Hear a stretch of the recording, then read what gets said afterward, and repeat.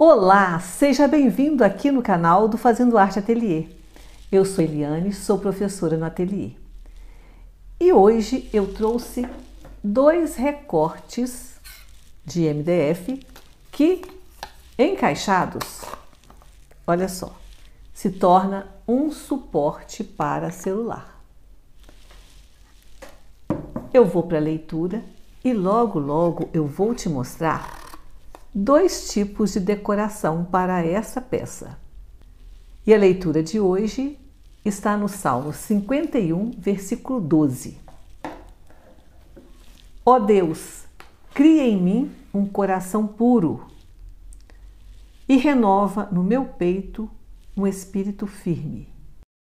Como eu já te mostrei, a peça que nós vamos trabalhar hoje é essa que está aqui. E a primeira coisa que nós temos que fazer é preparar essa peça para começar a pintura. Como essa peça foi cortada a laser, olha só, ela fica toda queimadinha na beiradinha, tá vendo? Então eu gosto de passar antes de fazer qualquer trabalho, passar a goma laca incolor para segurar mais essa parte queimada quando eu for usar uma cor clara. Nessa outra peça aqui, eu já passei a goma laca. Como eu vou pintar uma peça com a cor clara e a outra eu vou fazer uma decopagem, então eu vou antes passar a base acrílica.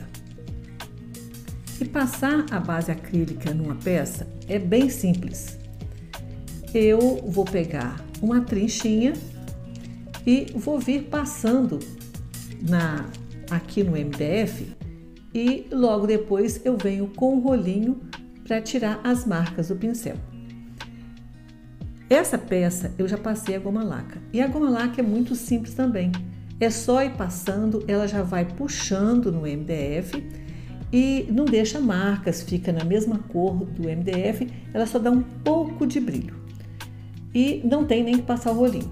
Agora a goma laca ela é a base de álcool, então depois tem que lavar o pincel com álcool.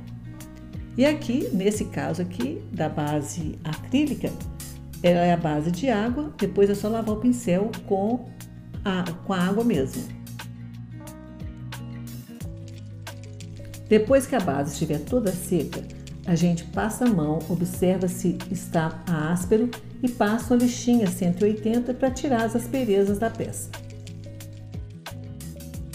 A peça está preparada, agora eu vou dar início à pintura. E eu vou usar a tinta PVA Saara. Com pincel macio, esse é o 44320, eu vou dar início à pintura. Vou passando a tinta, assim como eu fiz para fazer a base. Vou passando a tinta e venho logo com o rolinho passando para acertar toda a pintura.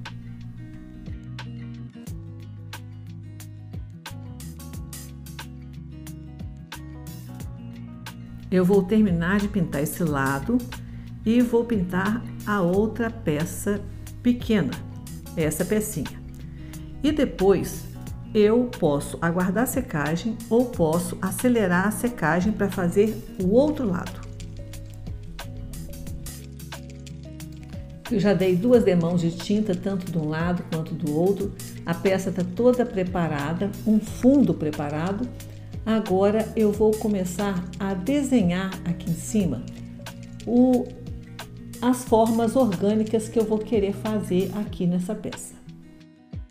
Eu vou fazer o desenho com ela montada para eu fazer alguma coisa nessa parte de baixo e integrar uma peça na outra.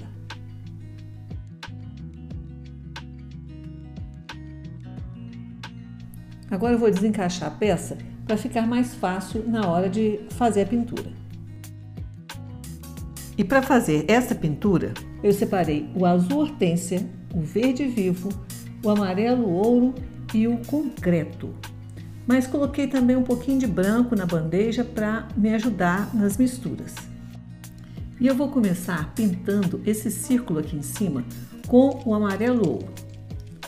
Pego, vou pegar esse pincel 146 8 e porque é um pincel num tamanho médio que dá para eu poder fazer esse trabalho aqui. E é um pincel macio.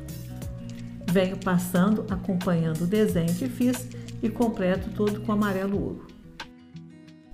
Eu estou achando muito amarelo, então vou pegar um pouquinho do rosa chá e vou misturar nesse amarelo, vai ficar um tom meio laranja e vou fazer um sombreado para a parte de baixo, onde eu pintei o amarelo. Lavei o pincel e agora com azul hortênsia eu vou pintar essa outra forma que eu coloquei logo abaixo dessa, dessa parte que eu fiz de amarelo.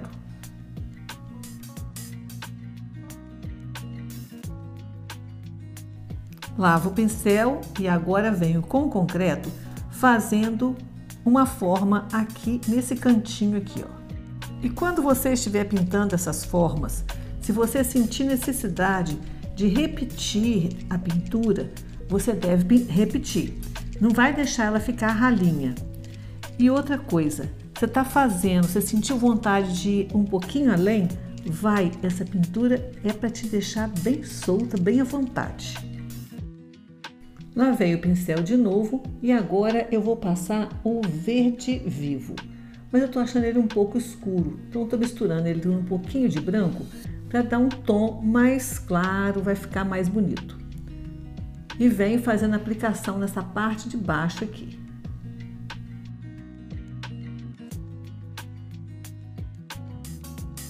Eu vou agora pintar essa pontinha aqui embaixo que vai integrar com essa outra parte.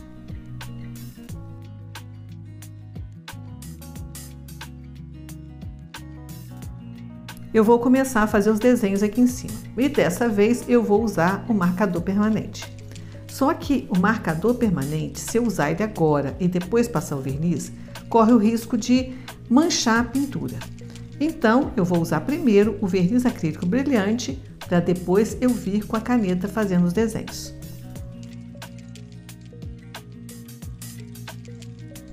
Eu vou passando o verniz eu estou usando o pincel 14616, que é um pincel também macio. Vou passando verniz e logo depois eu venho com o rolinho para acertar esse verniz.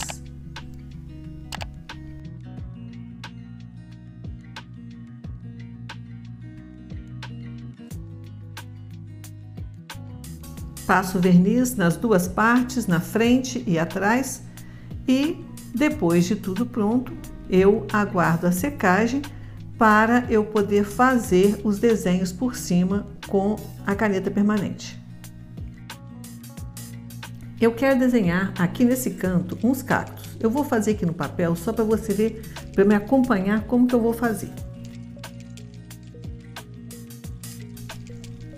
Olha só, a partir dessa forma ovalada, eu vou criando outras por cima e vou criando um cactus.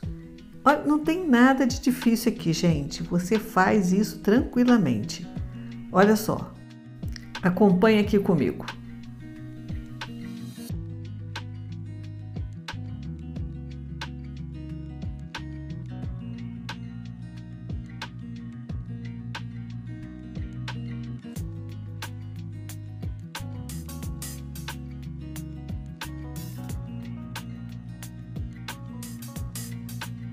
Deu para você perceber que é fácil, né? Eu vou agora fazer esse desenho aqui do lado. Um desenho parecido, não vou fazer igual, porque eu vou fazer é o que sair aqui agora.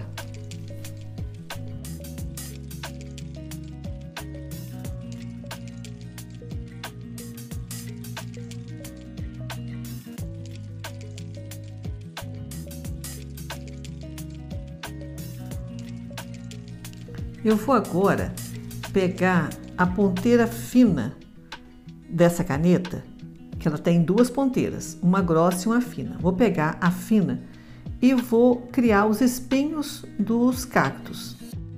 E olha que os espinhos também são super fáceis de fazer. É só você vir fazendo asteriscos.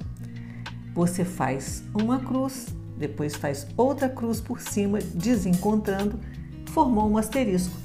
Então você vai fazer vários asteriscos pequenininhos dentro de cada parte do cactus. E assim você vai formar o seu cactus.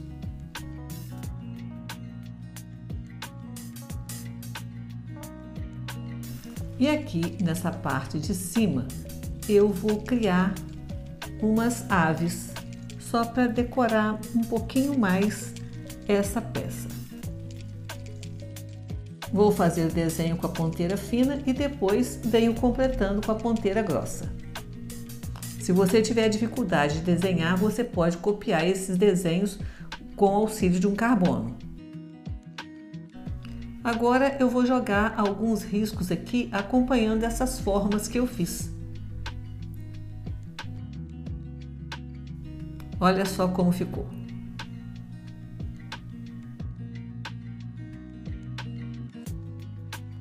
Eu trouxe esse outro aqui para te mostrar como que ele também fica muito bonito decopado.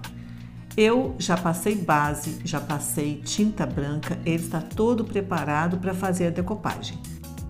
Eu vou usar esse guardanapo aqui. Olha que lindo que ele é. Eu já tenho um retalho que eu já usei em outro trabalho e eu já tirei até as películas dele.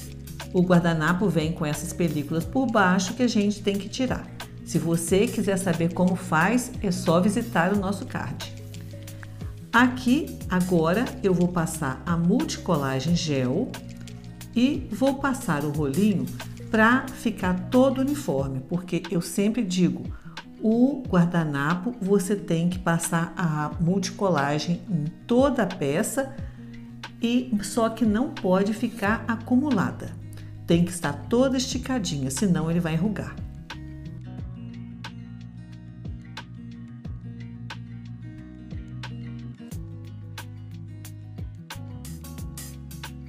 Como a peça é pequena, eu vou direto. Olha, eu venho agora com o guardanapo, já sem as películas, coloco na posição que eu quero que fique. Olha, eu não estou apertando a mão, só acertei. Vou pegar um plástico, colocar por cima e vou vir esticando do centro para fora. Olha, eu vou pegar um pedacinho de pano, pode ser é, a película do guardanapo também, e a gente vem esticando de dentro para fora. Depois de tudo esticado, eu vou tirar o excesso de guardanapo com uma lixinha de unha. Eu vou apertando de cima para baixo e tiro todo o excesso de guardanapo que sobrou. Nessa abertura que tem aqui, de encaixe, eu aperto a lixinha e depois eu venho, depois que eu furar, eu venho passando a lixa de cima para baixo. Se eu vier ao contrário, eu vou levantar o guardanapo. Então eu vou sempre de cima para baixo. E tiro todo tudo em volta e deixo tudo limpinho. Olha só, ficou tudo certinho. Agora eu vou vir com a multicolagem passando por cima. Com, a mesma trincha que eu usei para passar na parte de baixo, eu vou passar aqui em cima, vou vir com o rolinho acertando e vou deixar secar.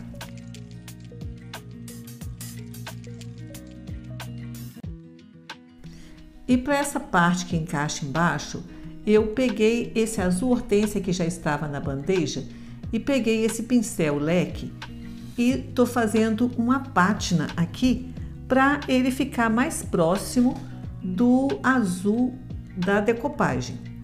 Ele não está muito igual, então vou pegar um pouquinho desse verde vivo e vou passar junto, passar um pouquinho também, olha, só para dar um, um toquezinho parecido com a cor que está embaixo.